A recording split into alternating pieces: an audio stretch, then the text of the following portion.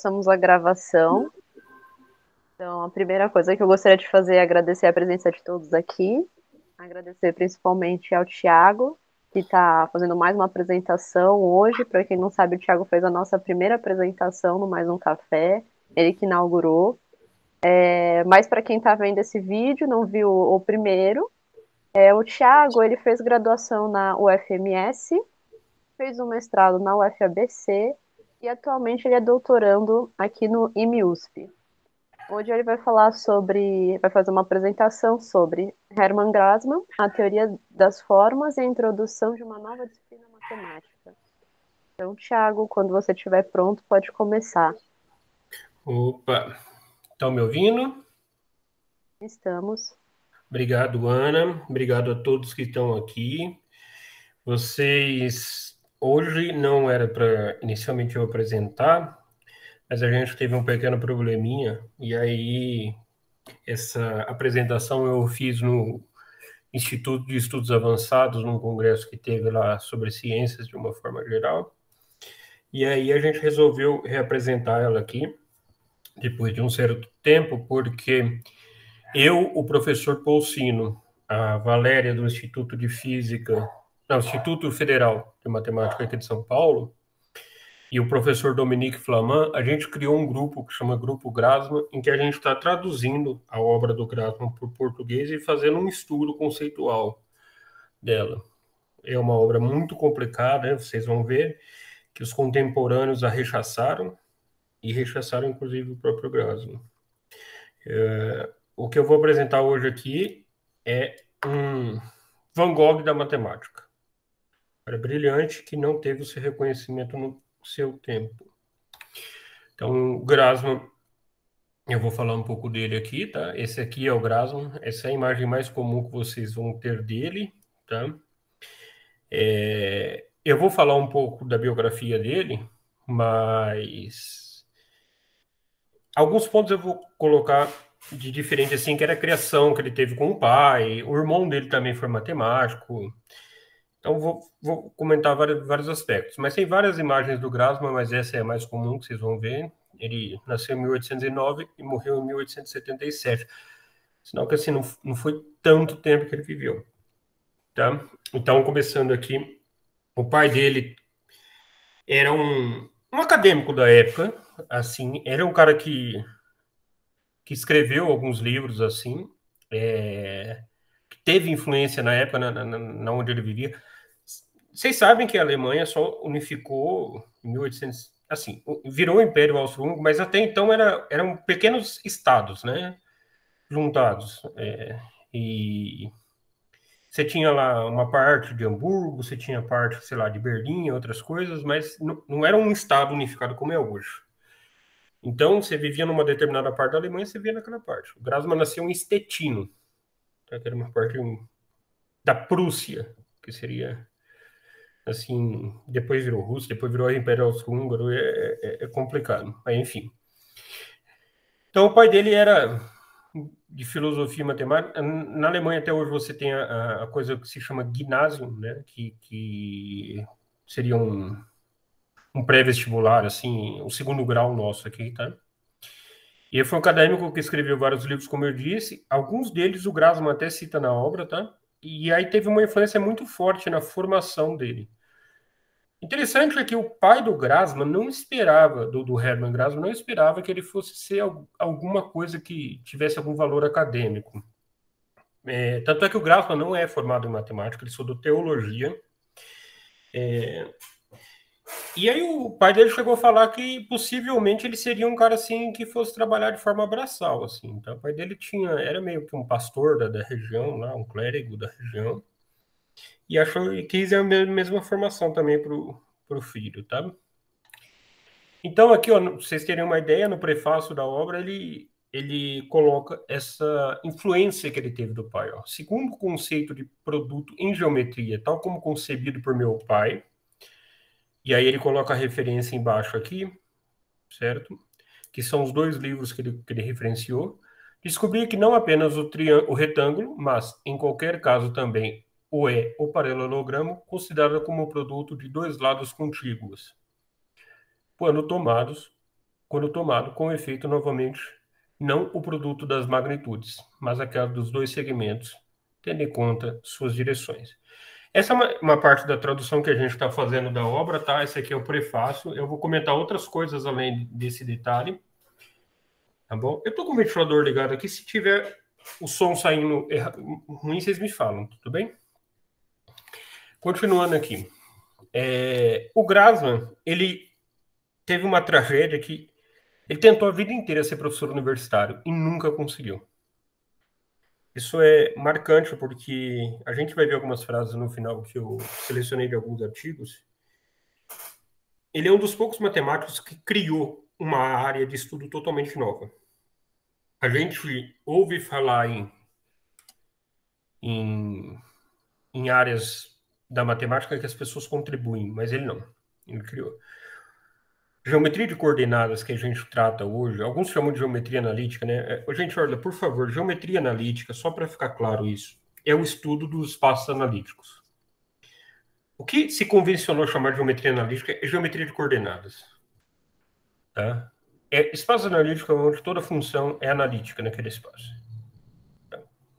É isso que é importante distinguir. Tem um artigo do CR que chama Geometria Algébrica e Geometria Analítica. Ali ele descreve o que é uma coisa e o que é outra e a diferença entre elas. Mas por alguma coisa, algum convencionamento, a gente traçou e chamou de geometria analítica. O Lacroix, que foi um matemático Sylvester Lacroix do século XVIII, escreveu um tratado de cálculo diferencial integral, chamou o negócio de geometria analítica. Um pouco antes também havia outro matemático Michelle Rolle também já tinha usado isso também. O próprio existe uma obra do Newton que tem um, o, o, título dela está marcado de geometria analítica, mas foi uma obra que foi editada póstumamente e o título dela não era esse, tá? Então o editor que editou as obras completas deu esse título, mas não era esse. Então voltando, o Grasman ele nunca conseguiu ser professor de, de nível superior e sempre foi o desejo dele ser porque não, não por uma questão financeira, porque na Alemanha, é, nessa época, eu não sei se hoje é assim, é, os amigos que estão aí podem até falar um pouco melhor, mas nessa época, o salário de um professor de primeiro grau ou segundo grau, que a gente chama, o ensino médio e fundamental, era muito maior do que o de um professor universitário. Consideravelmente maior. Tá? É, as, a reforma universitária, a reforma educacional que o Wilhelm von Humboldt organizou em todos os estados alemães, assim, começou por Berlim, mas ele organizou e, e fomentou todos os estados alemães, é, teve essa, essa influência que fez com que o pessoal desse muito valor ao ensino fundamental, as bases. Então, o professor de ensino primário ganhava muito mais do que um professor de ensino universitário. E aí o Grasman ele tinha essa ideia de que ele queria ser professor universitário por uma questão de tempo para suas pesquisas, porque ele tinha que trabalhar, sei lá, cinco, seis, oito horas por dia dando aulas, né? E pouco tempo sobrava para pesquisa. Enquanto num curso universitário você dá um curso por um período lá e beleza. Então essa era uma das coisas que aconteceu com ele. E eu falei do, do Humboldt, Philipp von Humboldt era um sociólogo, tá, que foi um secretário de educação lá do, do estado de Berlim, em que fomentou uma reforma educacional. O irmão dele é Alexander von Humboldt, que é um biólogo, tá? Então, quando falar em Humboldt, não confunda o biólogo com, com o ministro da educação lá, tá bom? Então, o, o Grasman, nessa próprio prefácio aqui, ele continua dizendo assim, ó, eu espero indulgência mais particularmente porque minha profissão me deixou pouquíssimo tempo de execução e não me deu possibilidade de fazer comunicações provenientes dessa ciência, ou de, ao menos, matérias semelhantes, e de ganhar, assim, o frescor vivo que deve inspirar e vivificar, viva, vivificar o todo, se deve aparecer como um elemento vivo do organismo do conhecimento. Então, ele está falando aqui justamente isso, que ele não teve tempo de produzir pesquisa e publicar coisas nesse sentido, tá? A obra que eu estou comentando aqui, e a gente vai abrir ela, é essa teoria de formas ou teoria de extensão, em alemão é chamado Ausdehnungslehre, tá? Ela traduz como teoria da extensão, né? Ou teoria do, do É, teoria da extensão, poderia ser, mas não extensão como esticamento, tá? Extensão. Você pega uma linha e estende ela. Tudo bem? Continuando aqui. Tá. Essa obra eu vou falar, ele escreveu em 1840 e em 44 foi publicado. Ele escreveu em 42, 43, final de 42, começo de 43 e foi publicado em 44. Mas, como ele não era formado em matemática, né, ele fez um exame para dar aula no Otto Scully, tá? em 1840. E ele escreve uma dissertação sobre o nome aqui está em alemão é Teoria de Eber e Fluid e Flut, não sei se é assim que se pronuncia, seria como teoria do refluxo e do fluxo, tá? Essa teoria ele parte teoria das marés da, da, mecânica do, do, do, do, Laplace, né? E, e, do Lagrange, mecânica analítica do Lagrange. É, quando Newton escreveu o livro dele é, de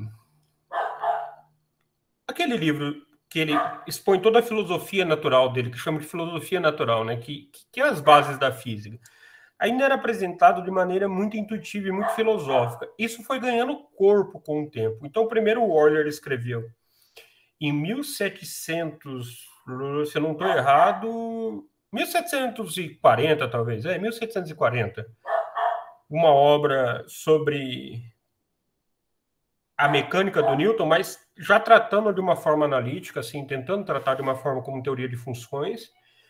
Depois, o Lagrange fez isso com uma precisão muito maior, em que ele escreveu esse livro, que é considerado uma das grandes obras, talvez a grande obra do Lagrange, para o grande público, né? Assim que não seja algebrista, porque o algebrista tem muito aquela teoria da, do, do Lagrange sobre o estudo das equações.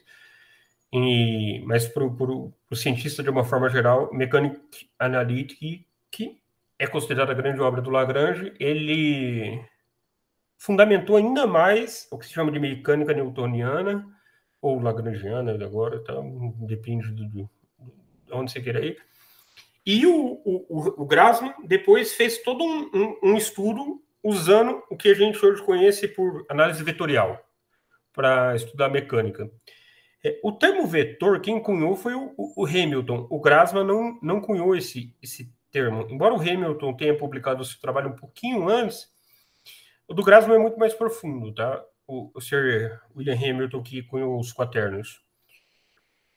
Bom, então, continuando aqui, ele produziu esse trabalho e ele viu que podia avançar um pouco mais nessa situação. Já nesse, nessa tese que ele escreveu, nessa memória, como assim dito, ele já introduziu adição e subtração vetorial, diferenciação vetorial e a teoria de, de, de função vetorial de uma forma geral. É, hoje, para nós, é muito comum a gente falar essas questões, mas na época não existia isso. Tá?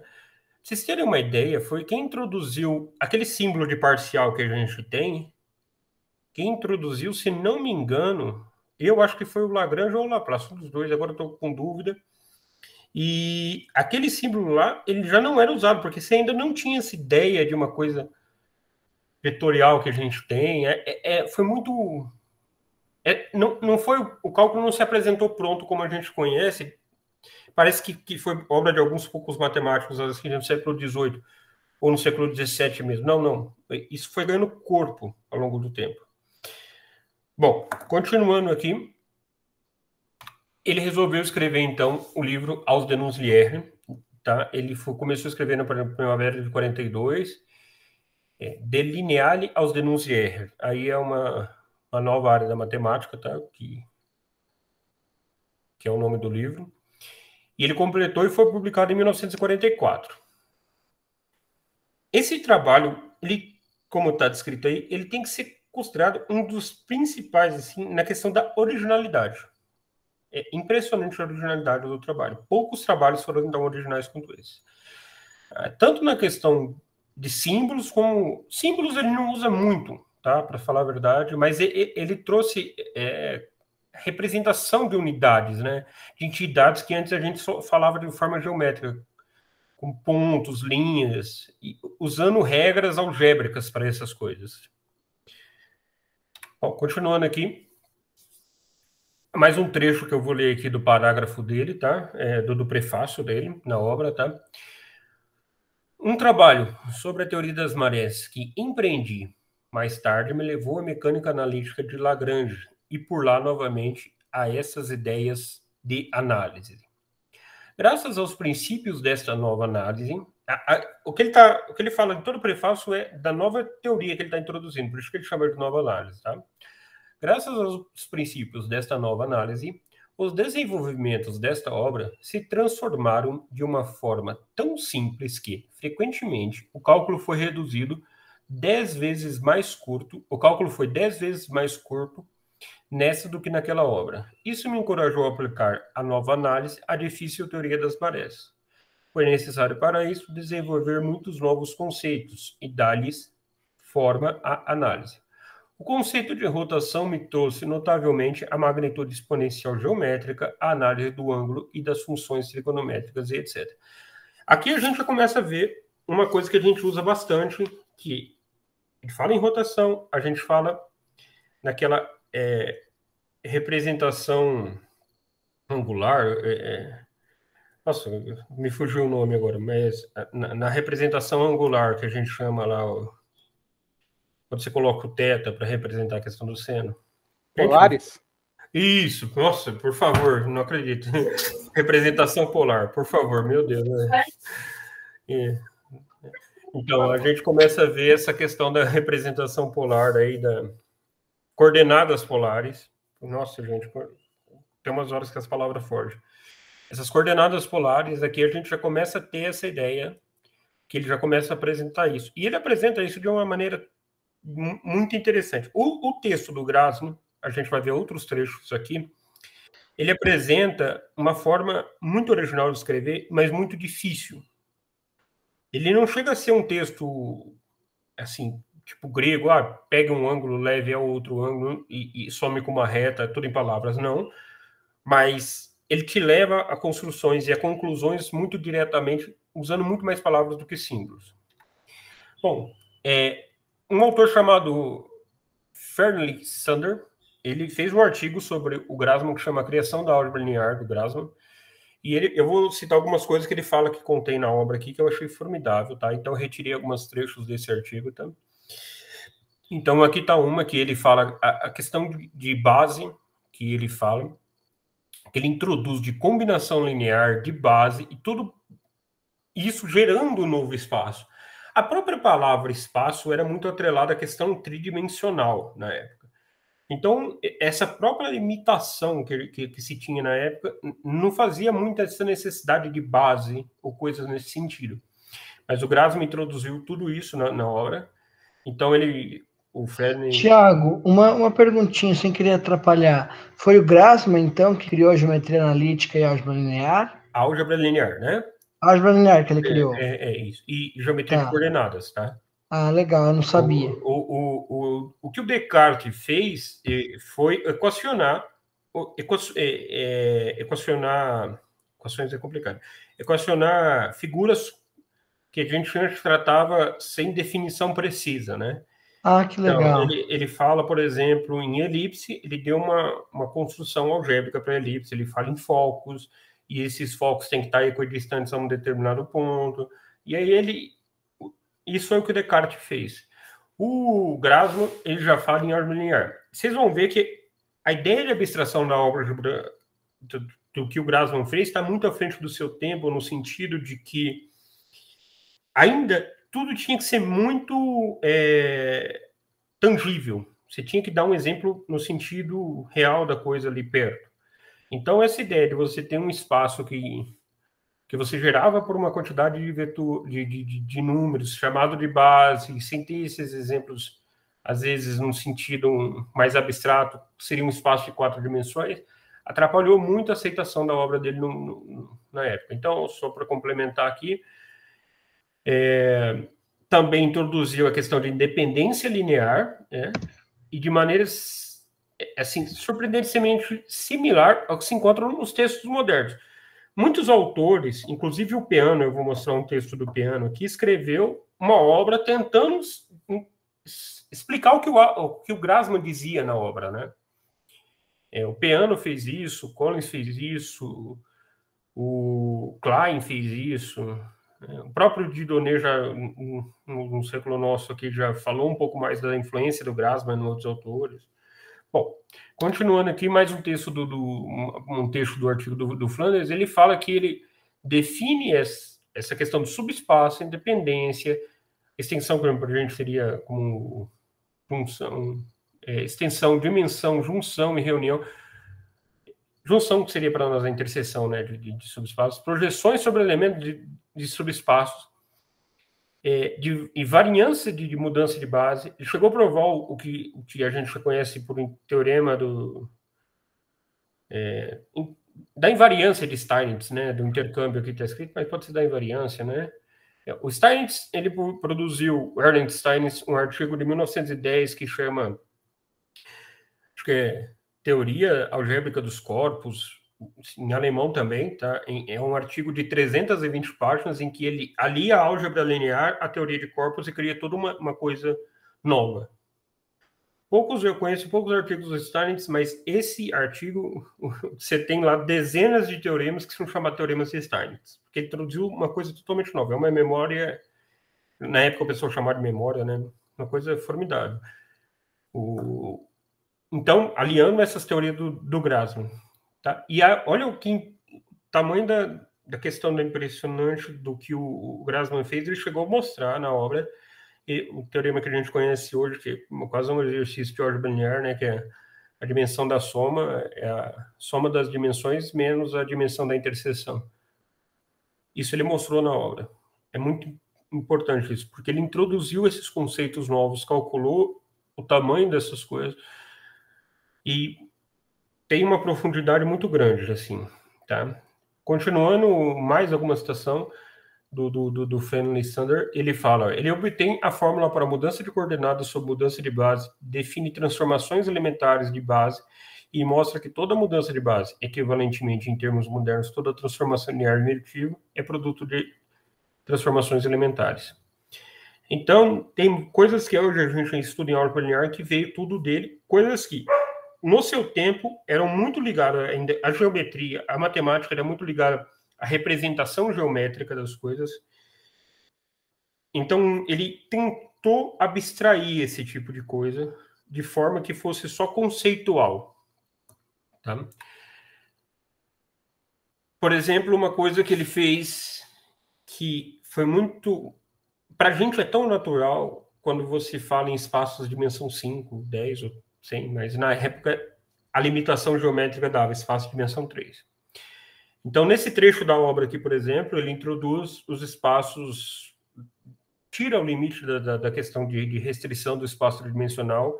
Vocês têm uma ideia? Aqui está um trecho original da obra dele, do Aldenus Lier, ele escreve: se duas regras diferentes, diferentes de mudanças, de mudanças são aplicadas, então a coleção de elementos produzidos forma um sistema de segundo escalão. Escalão seria para a gente seria dimensão, tá? Se ainda uma terceira regra independente for adicionada, então um sistema de terceiro escalão é alcançado, e assim por diante. A teoria do espaço pode servir aqui como um exemplo. O plano é o sistema de segundo escalão, é o que a gente chama aqui o plano de duas dimensões. Se alguém adicionar uma terceira direção independente, você pode ver que ele usa a palavra direção, porque hoje a gente usa vetor, né? Independente já no, no, sentido bem usual que eu colocava. Então, todo o espaço infinito, sistema de terceiro escalão, é produzido. Seria o, o espaço tridimensional. Não se pode aqui ir além de até três dimensões independentes. Isso é o que à época se concebia por causa dessa ligação geométrica que a gente tinha e da geometria ligada ao mundo palpável, né? que, que a gente chama de real. Enquanto na pura teoria da extensão, que é o que a gente, o nome da obra dele, sua quantidade pode aumentar até o infinito. Isso foi de um avanço assim que é difícil mensurar hoje, tá? Porque isso está na pureza da matemática. A matemática nessa época estava deixando de ser uma coisa que você dependia da realidade em que ela era construída para passar a ser uma coisa bem abstrata. O nascimento da álgebra estava nessas coisas. Porque a teoria dos números, embora ela tivesse um avanço muito maior, já nessa época você falava em lei de reciprocidade quadrática, outras coisas, o número em si podia ser representado por uma reta, um, um segmento de reta, perdão. Até então você, você tinha essa ideia de, da, da ligação com o segmento de reta. Então, você falar que um espaço pode ter de aumentar até o infinito é uma coisa muito, muito difícil de aceitar até para os matemáticos. Bom, enfim, outras coisas que aparecem na obra do Grassmann, que a gente usa todo, é o conceito de operação, o trecho está aqui, ó. Se duas magnitudes ou formas estiverem ligadas entre si, elas são chamadas de membros da ligação. A forma apresentada pela ligação se chama o resultado da ligação. É, ele chama de ligação que a gente hoje chama de operação, tá? E isso também foi introduzido na obra dele. É, por... Tiago, as operações que você está falando são a soma entre vetores e coordenadas? É uma multiplicação não, não, operação no sentido abstrato da palavra, né? Ah, tá. Como ele fala aqui, magnitude, se eu fazer uma ligação entre elas, ela vai obter um novo resultado chamado resultado da ligação. Entendi. Então, um, um, exemplo pode ser a soma, outro exemplo é a multiplicação, pode ah. ser a, a, soma de uma matriz, pode ser qualquer ah, legal, legal. Obrigado, Tiago. Né? Então, esse conceito de operação que ele introduzia, tá? É, até então também bastante abstrato, porque, como eu disse, as operações tinham que ser ligadas, né, tinham que ser associadas à questão de soma e multiplicação. O, o Grassmann introduziu um conceito abstrato de operação. Mais do que isso, ele, ele prova a associatividade de certa operação. A associatividade de três leva à sociedade de indeterminados membros. Por exemplo, se uma ligação de uma espécie tal, nesse uma operação qualquer, uma operação, tal que podemos obter os parênteses para três membros, isso também é verdade para o número qualquer de membros. Tudo isso é tirado da obra dele, do livro que a gente está traduzindo, isso tudo está demonstrado no livro. Isso também é, é, o nascimento do que hoje a gente pode falar um pouco de álgebra abstrata nesse sentido, tá? De operação, de fundamentos da álgebra no sentido de operação. Bom, continuando aqui. Aí ele introduziu no livro. Essa notação ele usa no livro, tá? Hoje a gente conhece uma notação que é, em inglês se fala wedge, seria como um, um, um V de ponta cabeça, tá? É, ele introduziu, foi o primeiro a considerar a possibilidade de algo não ser comutativo. Isso é muito importante também, porque nessa ideia é que se baseia os quaternios. Nessa ideia nasce uma álgebra totalmente, uma ideia totalmente nova na matemática. Porque até então a ordem dos fatores não alterava o resultado do produto ou a ordem da soma ou o que era conhecido, mas até então não se conhecia nem a ideia de operação. Então ele introduz essa ideia de operação e introduz o que hoje a gente chama de álgebra de Grassmann. É, a álgebra de Grassmann, que dá origem às Grassmanniana, ou variedade de Grassmann, mais do que isso, além de ele considerar a não comutatividade, como Hamilton também considerou a não comutatividade, ele fala que uma, uma que ele chama de magnitude ou de forma, né, na, na, ele chama de teoria das formas, né, então ele chama de forma, é, operado com ele mesmo, dá um elemento nulo, ou identidade, dependendo da ordem que você está trabalhando. Né? É muito interessante isso também. Você imagina que duas coisas não nulas dão uma coisa nula, ou duas coisas que não são um dão um. Então, é, é bastante interessante. Né? Uma coisa seria comum, uma coisa ao quadrado dá zero, que não é zero. Né? Então, ele tinha essa ideia totalmente nova também para a época. E isso fez com que a obra tivesse essa essa rejeição que eu vou explanar agora aqui. Bom, era uma obra totalmente revolucionária, mas ela estava muito à frente do seu tempo. Então, eu vou dar alguns exemplos aqui. Ó. O Grassmann viu por Möbius fazer um, uma resenha da obra. O Möbius se recusou. E numa carta que ele escreveu para esse outro matemático chamado E.F. Apelf, faltou aqui, carta de Möbius Apelf, né? Ele escreve esse trecho aqui que é sintetiza muito o que eu estava falando e como que a matemática era vista no seu tempo.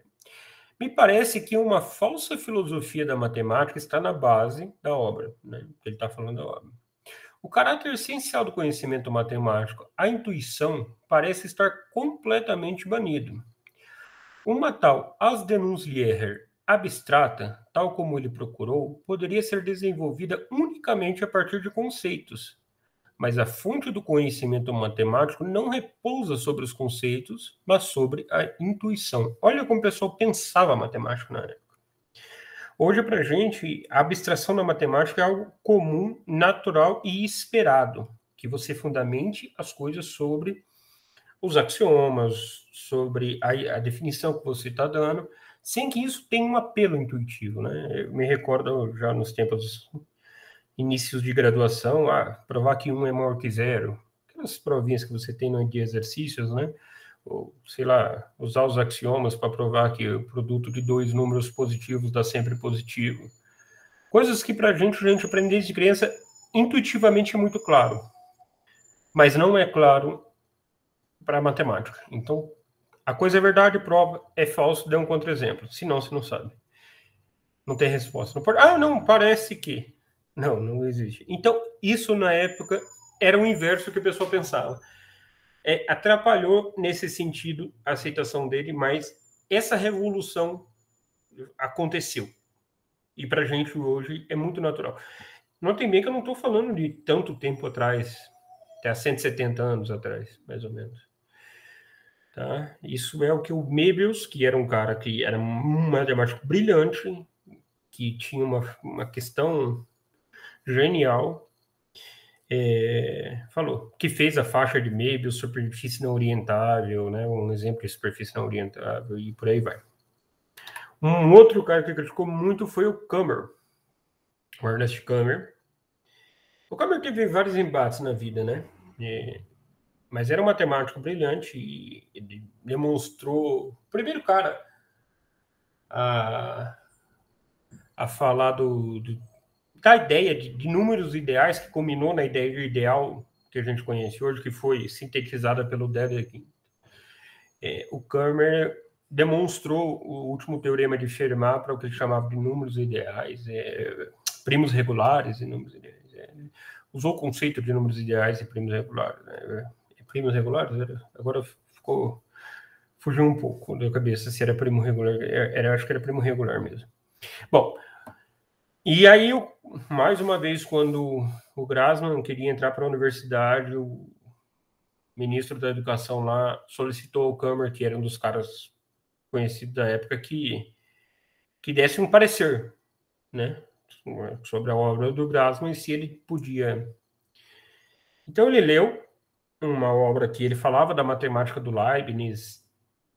Essa obra mesmo foi um concurso que o pessoal lá na Alemanha fez, lá na, na, na região lá que ele morava fez, para responder algumas questões que o Leibniz falava ou propunha, acho que o Leibniz propunha. E aí o, o Grasman fez, a, o, entrou no concurso, ganhou o concurso, pôs uma obra formidável, mas o Kammer escreveu que era um bom material expressado de forma deficiente.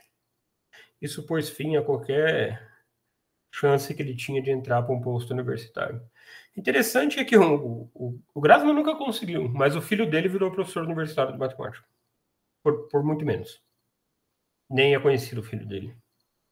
Bom, além da questão matemática, então ele deixou a matemática um pouco de lado por causa dessas frustrações, ele trabalhou como linguista, como físico, como várias outras coisas. E como linguista, ele é muito reconhecido. Impressionantemente, ele é mais conhecido como linguista do que como matemático em alguns, alguns aspectos. Ele é estudado como linguista e mais agraciado como linguista.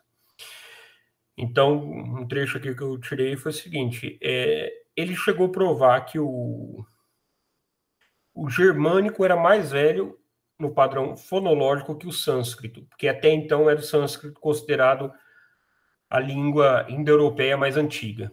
Né? Então, ele sobrepôs isso, criou métodos linguísticos, mudou toda uma, uma teoria, criou toda uma teoria sobre isso e os seus últimos anos assim foi praticamente dedicado à linguística e ele ficou muito conhecido, escreveu vários livros. A obra dele, para vocês terem uma ideia, eu esqueci de comentar isso. Muitas das palavras que a gente usa na matemática vêm do latim. E elas têm traduções muito basais, assim como teorema em em espanhol é teorema, em inglês é theorem, em francês é théorème, théorème, e por aí vai. O alemão é Satz, mas é a única coisa.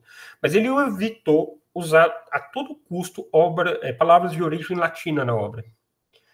Então, se você já lê alemão, se você entende alemão, entender o Grassmann é difícil, porque ele praticamente aboliu na sua obra as palavras de origem latina. Ele só usou as de origem germânica, tentou usar quase todas de origem germânica. Então ele usa.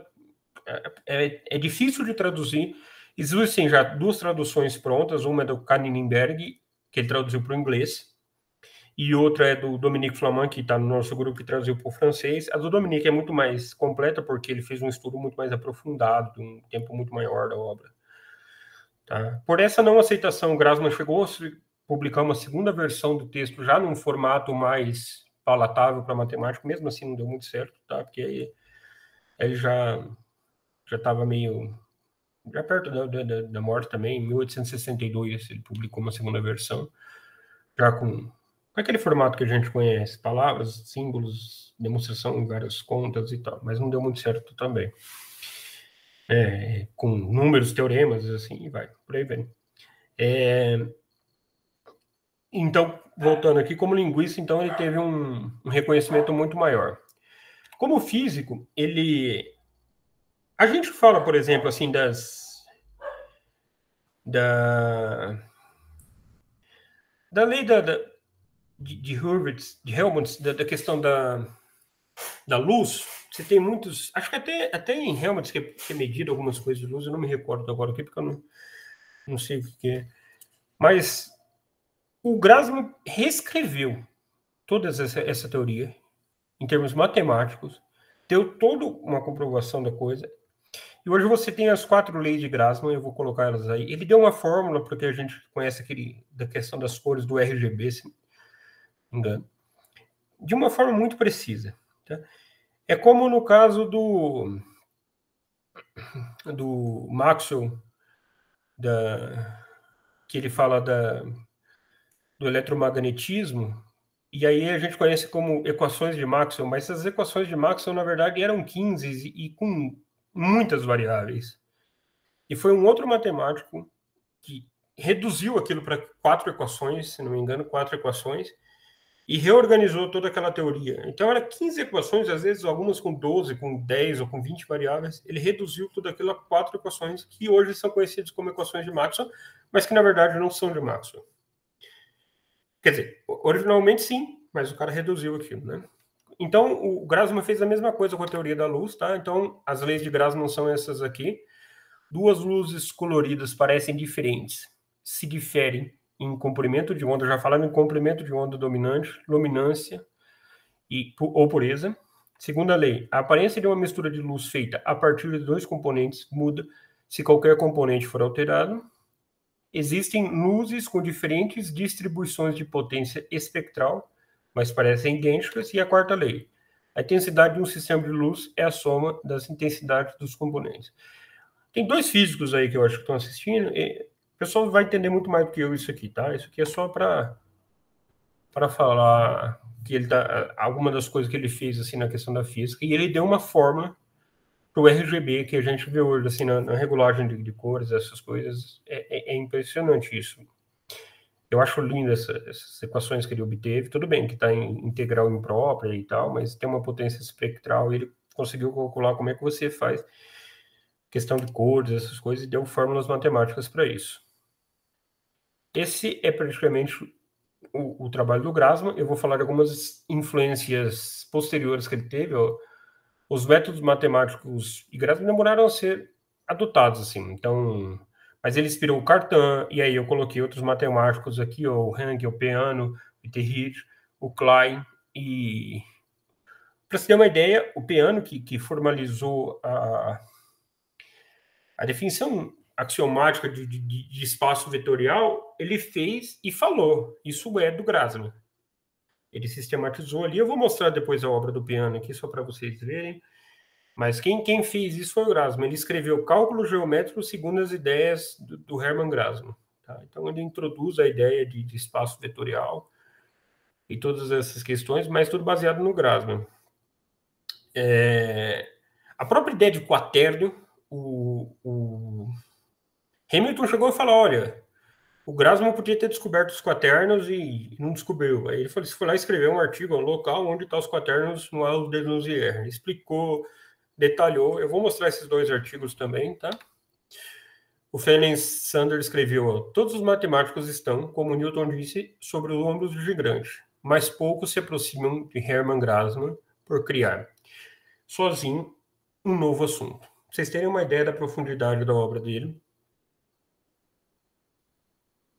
e do quanto ele fez. Jean de Donnet, num artigo escrito intitulado A Tragédia de Grasman, escreveu: Em toda a galeria de matemáticos proeminentes que desde a época dos gregos deixaram sua marca na ciência, Hermann Grasman certamente se destaca como o mais excepcional em muitos aspectos. Olha o que o Didonnet, que era um especialista em história da matemática, fala. O mais excepcional em muitos aspectos. Quando comparado com os, as de outros matemáticos, sua carreira é uma sucessão ininterrupta de estranhezas. Incomum eram os seus estudos, incomum seu estilo matemático, altamente incomum sua própria compreensão tardia a sua própria compreensão tardia de seu potencial como matemático. Como eu disse, ele não foi matemático, tá? De formação, ele demorou a, a, a encarar a matemática como algo que ele soubesse de verdade e, que ele teria sucesso. Incomum e infeliz a total falta de compreensão de suas ideias. Isso também é, é chocante. Não apenas durante sua vida, mas muito depois de sua morte deplorável a negligência que o obrigou a permanecer por toda a vida em uma escola secundária. Ginásio del Herrer, se é assim que pronuncia. Quando homens deveras inferiores ocupavam cargos na universidade. Olha o peso do que o Didonê disse da obra do Grado. Pra vocês terem uma ideia do quão significativa e importante na história da matemática foi e o quanto até hoje ele é pouco comentado. Tá? Esse é o grupo Grassman que a gente faz parte aqui, que eu falei para vocês. Tá? Então, tá eu, tá o Dominique Flamand, da, um pesquisador de História da Matemática da França, que traduziu a obra do Grassman, traduziu alguns outros textos muito importantes, escreveu um, um, livro muito premiado que chama História dos Números Complexos, em que ele fala da influência do Hamilton na criação dos números complexos, a Varela Luqueta, que é professora no Instituto Federal de São Paulo, e o César Pulsino Mires, que é professor, em breve, se Deus quiser, emérito do Instituto de Matemática aqui da USP. Essa foi algumas das, das obras que eu aconselho quem teve algum pequeno interesse ver. Esse é o artigo do Friendly Sander, esse é o artigo do Grasman, ou do Didonet, a tragédia de Grasman, é um, está disponível, também é muito bom. É, esse artigo tem papel na USP, tá? Quem quiser tiver interesse. E aqui tem dois artigos do. Tem a tradução né, do Aldenunzier, que é do que o Dominique fez, mas ele, ele escreveu alguns outros artigos, pode ver que tem bastante longo aqui na filosofia científica da, na França lá, filosofia científica é né, em, latim, mas é da França. Tem praticamente 70 páginas, assim, de, de 60 páginas, né, de, de de um estudo do que ele fez da obra do Grasman. E ele também escreveu um outro trabalho, um outro livro em que ele fala também do Ausdenusier do Grasman também, num Century of Geometry, também bastante interessante. E tem o livro em si. Né? Bom, era isso que eu queria falar. Espero que eu tenha conseguido passar uma ideia do que o Grasman foi e da sua importância. Tiago. Muito obrigada pela apresentação. Incrível, impressionante tudo que o Grasman fez, não sabia disso. Também impressionante seu conhecimento de história da matemática, seus comentários. É, vou passar então para o público aqui, se alguém tiver alguma pergunta. Pergunta, comentário. Tiago, eu queria entender um pouquinho mais, se você puder falar um pouco da parte da geometria analítica que você falou no começo que foi o Grasman que começou essa parte, certo? É, não, o que eu quis dizer foi assim, que o, o Grasman introduziu a questão da álgebra linear, né, na uhum. do abstrato, e a geometria feita a partir daquilo é uma geometria de coordenadas, em que você... Ah, de coordenadas, tá. Geometria tá. analítica, o, o termo é um pouco mal empregado, foi isso que eu disse, ele é o estudo dos espaços analíticos, ou seja, os espaços onde as funções eles contidas são todas funções analíticas, que podem ser ah. inseridas em séries de Taylor. É uma das áreas mais difíceis da matemática, tanto é que há pouco estudo nisso. Em geral, você estuda variedades diferenciáveis, mas não variedades analíticas, tá? Então, é, é, é bastante complicado. Então, então o termo geometria... Então, o termo... Então, o termo geometria analítica é mal empregado atualmente, é isso? É, é, é mal empregado, sim. Assim Entendi. como vários termos a gente vai adquirindo, ele vai ficando, né? E a gente passa a usar de uma forma muito meio que natural. Que nem o termo análise, né? Análise é qualquer coisa que se analisa, né? O termo correto seria teoria de funções, né? Mas aí, um pouco antes já do Euler, o pessoal usava, mas quando o Euler escreveu análise infinitorum, vocês têm uma ideia? O análise infinitorum é a tradução correta é análise dos infinitos, em que ele queria analisar não vários tipos de infinito, mas as séries. Né? Toda análise, tanto do Euler quanto do Newton, era baseada em séries. E aí você chama isso, aí já ficou análise disso. Aí depois o, acho que foi o Lagrange, o Laplace, que análise das equações diferenciais que satisfazem isso, não, o D'Alembert. Aí análise não sei o quê. Aí virou análise disso, análise daquele, ficou análise. O pessoal foi cortando os nomes e ficou análise. Então, é, é importante sempre a gente ter a etimologia matemática, da onde surgem essas coisas, porque hum. o nome é mal empregado. Hugo, você ia falar alguma coisa? Oi. Eu fiquei curioso com, com uh, também a, a, sequência histórica, né? Você comentou do, do piano e, e, os posteriores começaram a reconhecer, depois de muito tempo Sim, trabalhando vou... do Grassman. É, o Clifford foi um desses que, que re, reavivou sim, o trabalho do Sim, sim, sim, sim. Tem até um livro que chama Clifford e Grassman. Ah. Isso, verdade. Eu vou até mostrar aqui, eu vou até pedir eh, licença, se até foi bom você falar, eu vou até pedir licença para compartilhar aqui mais uma vez. Até mostrar aqui o que eu falei que ia mostrar e já ia deixar. Aqui, ó. Tá vendo? Estão vendo? Cálculo geométrico segundo aos Denunzier de Hermann Grassmann. É em italiano, né? Como tem, o, Operações da Lógica Dedutiva, de Giuseppe Piano, tá? É professor na Universidade da Academia Militar, Universidade de Torino. E aqui ele faz toda. Deixa eu só baixar aqui para vocês verem com mais precisão aqui. Depois, se vocês quiserem, até mando, é, só para falar. Mas ele vai, ele, inclusive, acho que aqui ele fala algo do, do, do, do Clifford, mas eu não lembro agora. Desculpa, eu não lembro com precisão, mas com certeza assim que eu lembro. Aí ele começa a definir as coisas e faz uma, uma questão axiomática. E aqui, ó, você já vê coisa. É o mesmo símbolo que o, que o Grassmann usava. O, o livro do Kaninenberg faz um erro brutal que ele coloca esse símbolo aqui como que, aquele que a gente usa por interseção. Gente, não é o símbolo de interseção, tá? É, tanto é que você tem um, no LaTeX lá, você vai digitar é smile. Tá? O símbolo de interseção é outra coisa, tá? São coisas aqui, não é interseção e nem união. Mas é, é a coisa que ele faz. Eu coloquei, separei outra aqui, ó, desse cara aqui. Esse aqui foi em 1900, o Hyde, não, 1890, 1890, ó. Cálculo direcional, aí ele fala, baseado sobre os métodos de Hermann Grassmann. E ah, aqui tem um trecho do, do livro do Grassmann, tá? Para vocês verem como é quase tudo em palavras, ó. Esse, é aí ele faz uma demonstração, cria alguma determinada coisa aqui e coloca o teorema aqui como uma observação. Pode ver que é quase tudo em palavras. Você vai ver símbolos, mas é assim, ó. É, é o símbolo do smart, né, que seria uma, uma coisa assim nesse sentido, tá? Então, ó, quase tudo em palavras. Essa é a obra original em alemão, tá?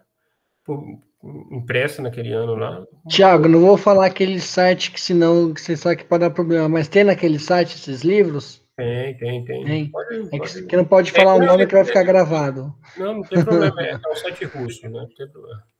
Mas tem, tem, tem lá sim. Tá? Então, é esses aqui. Ô, Tiago, agora que você falou que ele é todo. Ele saiu sem querer. Ele saiu sem querer. Caiu, eu acho. Acho que ele fechou.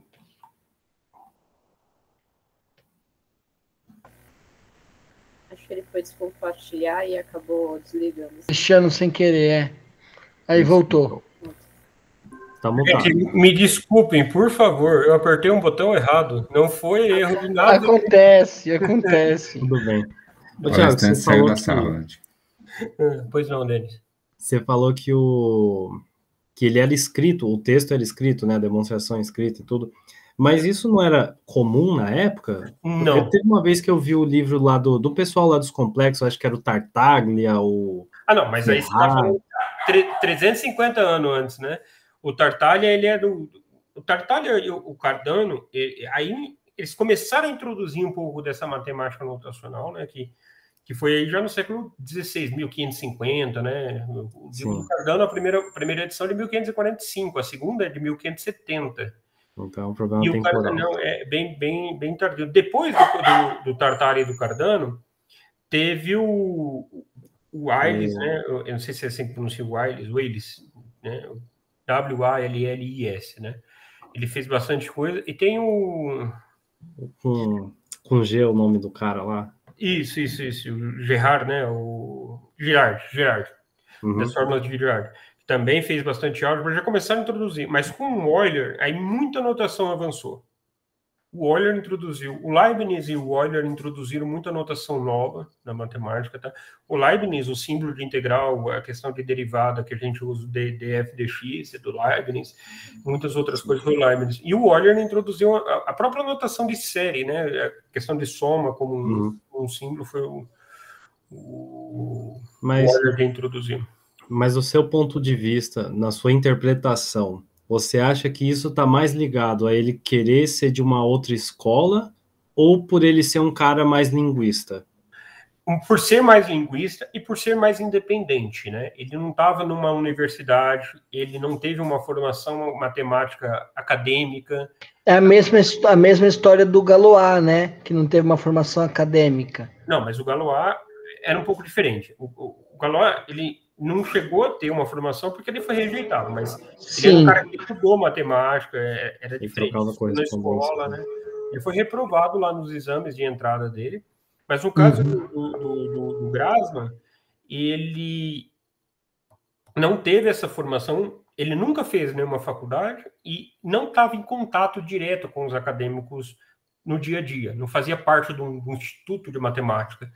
Isso faz toda a diferença, mas o, o fato dele ser linguista e dele valorizar muito o alemão como língua nativa, no sentido, você ter uma ideia, ele fez todo esse trabalho para provar que o alemão era mais antigo que o sânscrito. Não, e um, um método que ele usou e, e toda uma, uma construção, muitas palavras ele criou para determinar. Tem- Tem uma, tem uma pitada de estatística aí no que ele fez? Ou você acha que é mais uma coisa mais construtiva, pensando mais em. Quer dizer, eu não, eu não entendo nada de. Acho que Linguista, não, não, é muito mais construtivo. Linguista você tem que procurar documentos, você Sim. tem que falar, olha, alguém já falava isso por uma carta tal, ou uma carta tal de os que ouviu tal coisa. Uhum. E é assim que você procura, né, na questão linguística, é uma questão meio histórica mesmo. E também a questão da origem. Tem um livro, um filme agora que saiu recente, é de 2019. O matemático, é, eu tô querendo assistir, que é sobre a Não, criação não, da eu ia bomba. é, é o gênio e o louco, que é uma questão que o cara procura palavras, é, é com o Champagne e o Mel Gibson. É, um, eles começam a querer achar a origem das palavras em inglês, onde a palavra Thiago, pela, primeira vez, só um minutinho, onde a palavra apareceu pela primeira vez. E aí eles começam a desenvolver um método para isso, e aí eles param. E esse cara que está preso, que é o Champagne que interpreta, que está preso no sanatório lá, ele cria um método para você onde que você vai achar determinada coisa, as origens e tal. É bem interessante o filme nesse sentido, acho que vai. E o Grasman fez muita coisa. Mas o que é mais interessante de observar é que, aparentemente, ah, a pessoa não entendeu, mas as aplicações que ele conseguiu, cara, ele reescreveu toda a mecânica. Ele tem um artigo aqui sobre mecânica, sobre sobre teoria de marés, que era uma coisa muito difícil, é é onda tridimensional, né? Quem estudou física Uhum. sabe o quão difícil é a teoria de ondas é, é, análise de Fourier, é, coisas assim que ele fazia, teoria de luz, né, para vocês terem uma ideia das, das leis de Grasman. A obra completa dele, a obra completa dele é muito mais física do que matemática, né, porque ele queria mostrar que que a teoria dele tinha utilidade. Não quero ficar atravessando todo mundo, não sei se. Não, eu vou só falar uma perguntas? coisinha rapidinho. tem um filme que lançou esse ano chamado O Matemático, que é ele trabalhou na criação da bomba atômica que atacou a Nagashima e esqueci o nome da outra cidade. Nagasaki. É isso, Nagasaki. Tem um filme lançado agora no cinema, está em cartaz ainda. Eu não assisti, mas eu tô maluco para assistir. Tá, tá, tá, na tela do cinema. Se você for em qualquer cinema, você vai aparecer seu matemático. O nome do filme. Vamos The Mathematician, no caso, né? É, mas aí, indo nessa linha que você falou da, da, da, contribuição dele, que era principalmente em mecânica e tal, você acha que teve uma, uma, uma inspiração do Descartes? Ah, provavelmente.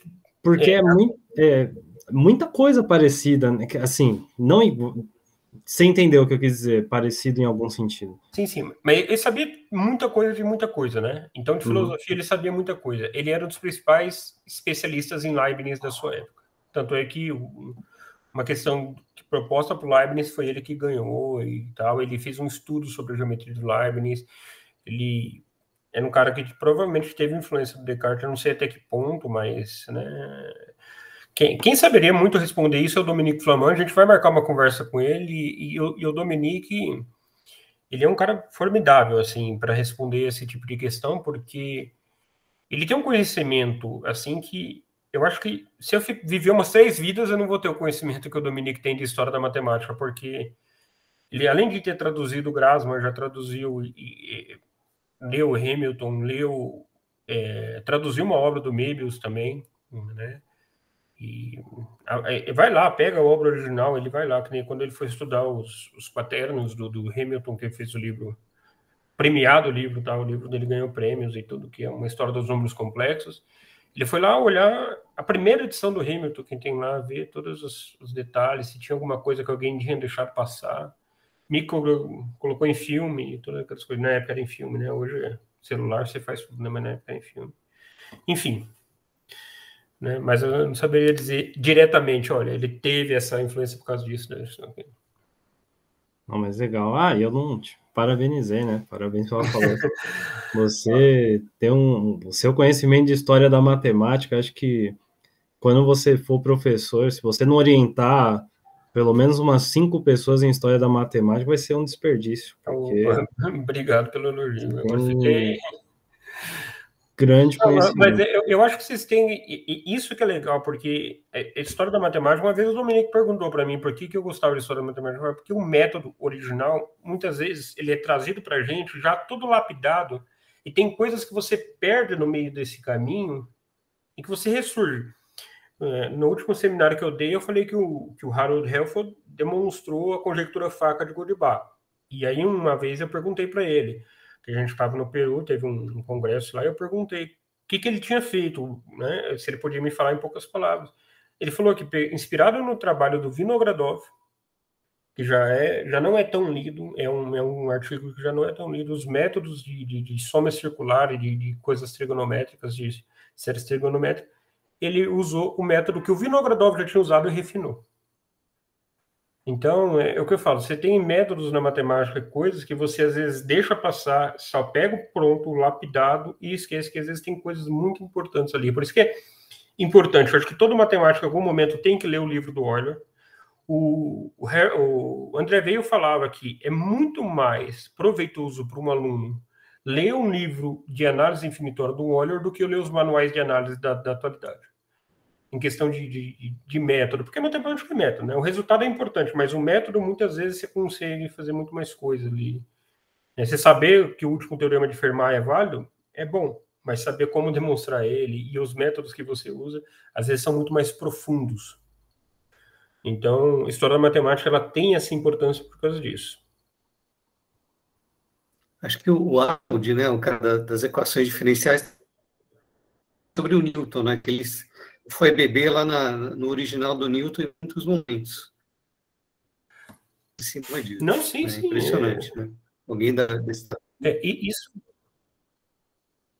isso de fato é muita coisa. É, é, é, é muito do que a gente vê hoje é, é, é, fazendo isso. Você tem que, em algum momento da sua carreira, não, você não vai começar ah, vou ler, aprender teoria de números, vou lá ler a obra do Gauss. Não, você vai apanhar, porque é outra linguagem, outro estilo. Em algum momento você tem que ver isso, mas não comece com isso, mas saiba que em algum momento na sua carreira você não vai perder nada se você aprender com essas coisas. Né? Como fazer um comparativo e tal. Acho que eu... Fico muito feliz que vocês tenham gostado, porque é, história da matemática geral não exemplo, né, O que eu mais gostei até foi ter entendido que geometria analítica não é o termo mais melhor empregado. Então, é aquilo que o, o Odilon fala muitas vezes, vivendo e aprendendo. Ah, que bom.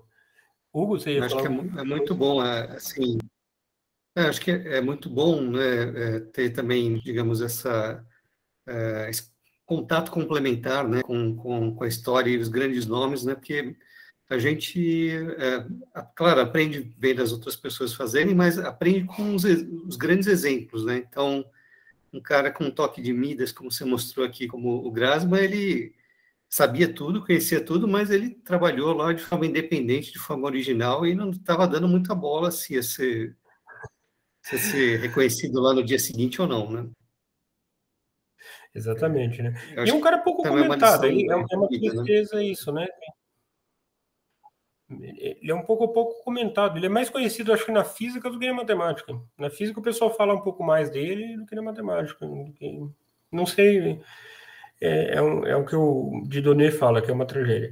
O, o Ribbenbach me falava que o Veio admirava o Eisenstein e o Grassmann. Falava que eram dois grandes matemáticos que eram um pouco comentados.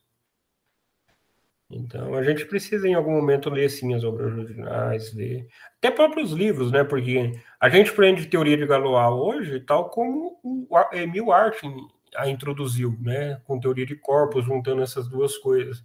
Mas a teoria de Galois, se você pega os livros de álgebra, mesmo o José Vicente, do, do livro português, dos 1930, mais ou menos, que ele escreveu, era totalmente diferente.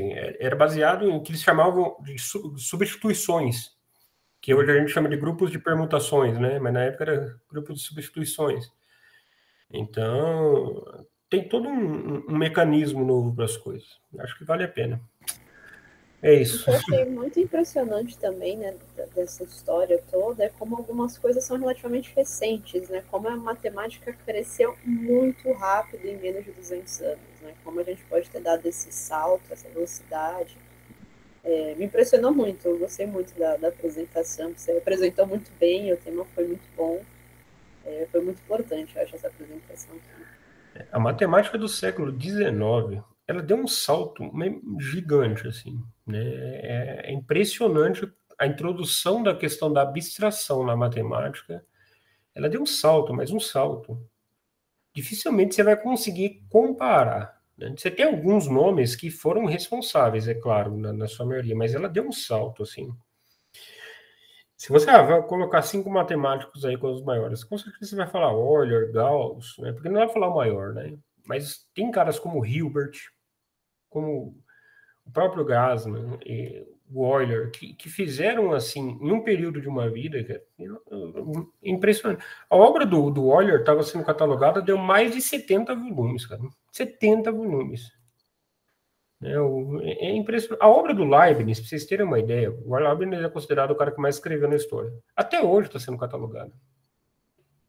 Não foi catalogada por completo. O, o Paul também, né, se equiparou ao, ao Euler em termos de publicação, não foi? Em quantidade, mas não, nem em quantidade. É, o Erdős escreveu 1.500 artigos, o Euler escreveu 1.500 páginas em um ano.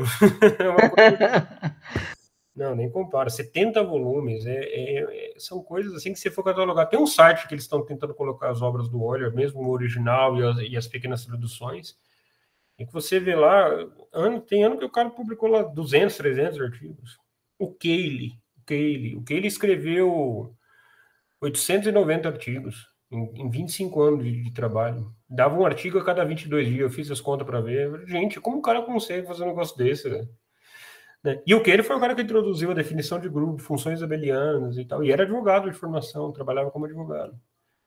Então, você vê que esses caras não tinham Facebook, não tinham Instagram, não tinham. não tinha nenhuma tecnologia, né? Ou era criar filho, é. ou era estudar, né? Era os dois. Né? O Euler fazia os dois, né? Pelo que o, não, o Euler era o filho do lado e o Euler tinha 11 filhos, né? O, é. 11 filhos? Meu Deus! 11 filhos. E o Euler também não era matemático de formação, era médico, né? Nossa, isso eu não sabia. Ele era médico, Euler? Ele, ele foi inicialmente sabia. como médico. Mas são caras que nascem assim para desenvolver a humanidade. Você fala, não, esse cara aqui, ó, Deus falou, esse cara aqui vai lá e vai fazer alguma coisa que Tiago, tanto que eu aprendi hoje, eu acho que eu vou ficar uns meses até matutando na cabeça, porque, meu é. Deus. Não, mas isso mostra o, o que é importante quando você estuda a história da matemática é você saber o tamanho da sua ignorância, né?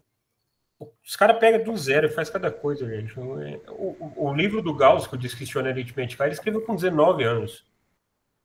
Que é considerado um dos três grandes livros da história da matemática.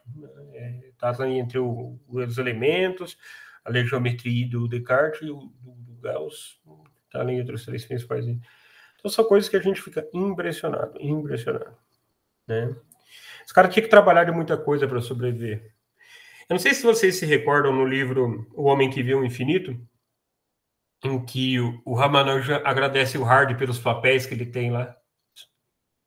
Vocês terem uma ideia como o papel era algo valorizado e difícil de arrumar na época, né? Ele chega a agradecer, não, os papéis são excelentes os papéis, ah, faça bom uso deles, então o Hard fala para ele. Então são coisas que o pessoal tinha de dificuldade que a gente não consegue nem imaginar hoje. E mesmo assim, né, fazer muita coisa. Que bom que vocês gostaram, eu fico muito feliz e que isso sirva para inspirar outras pessoas a lerem um pouco mais sobre a história da matemática. Vamos dar uma salva de palmas para o Thiago, porque ele merece. Obrigado, não precisava. Só de vocês estarem presentes aqui já foram mais, mais do que suficiente. O livro do Klein tá? é, é maravilhoso para quem quer estudar um pouco mais a fundo.